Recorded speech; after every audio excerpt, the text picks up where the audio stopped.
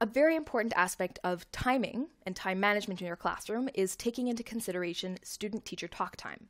So essentially, the golden rule is the more the student talks, the better.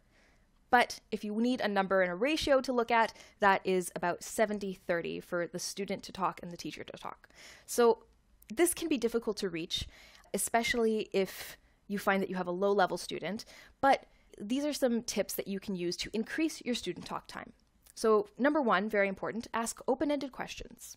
So, that's basically any question that doesn't have a yes, no, or one word answer, something that gets them talking a bit more.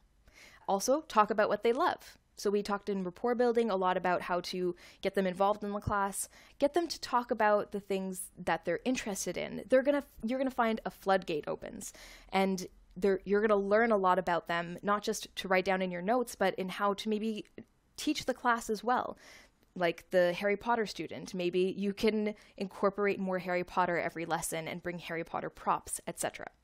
Show and tell, very important and useful as well. We talked about that with props, but they can come and bring you things. It could be the picture, the instrument, their cat, their sister.